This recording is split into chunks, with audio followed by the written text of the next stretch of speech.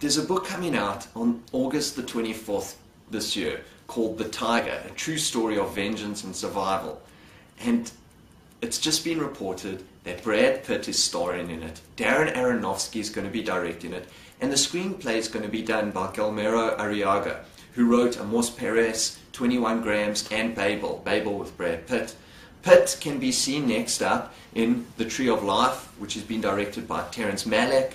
Megamind DreamWorks animation film due out on the 5th of November 2010. He's going to be the voice of Metro Man.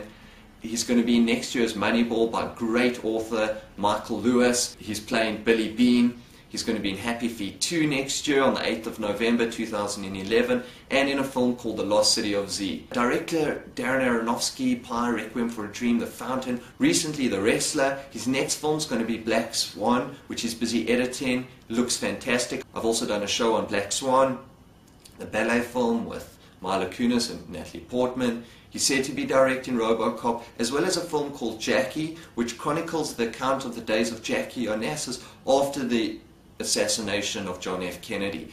And it said that Rachel Weisz will play Jackie Kennedy. A bit about this film, The Tiger, which is going to star Brad Pitt, being directed by Darren Aronofsky. It's set in December 1997, where a man-eating tiger is on the prowl outside a remote village in Russia's far east. The tiger isn't just killing people, it's annihilating them.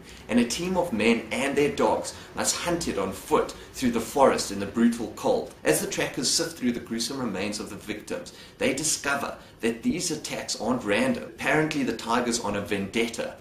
Injured, starving, and extremely dangerous, the tiger must be found before it strikes again. John Vaillant, the writer of The Tiger, gives us an unforgettable portrait of the spectacular, beautiful, and mysterious region.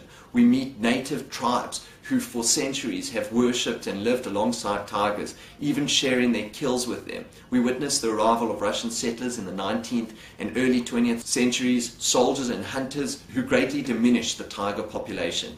And we come to know their descendants who, crushed by poverty, have turned to poaching and further upset the natural balance of the region. We come to understand the endangered Siberian tiger, a highly intelligent super predator that can grow to 10 feet long, weigh more than 600 pounds, and range daily over vast territories of forest and mountain.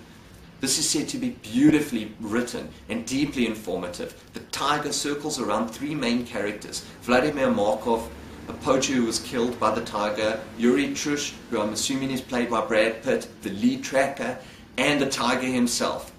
It's said to be an absolutely gripping tale of man and nature that leads to a final showdown in a clearing deep in the taiga. So, The Tiger, written by John Vaillant, starring Brad Pitt, directed by Darren Aronofsky. You're probably going to have to wait a while for this. As I said, Brad Pitt, Darren Aronofsky are up to quite a lot of film work, so I guess we're going to have to look forward to this one.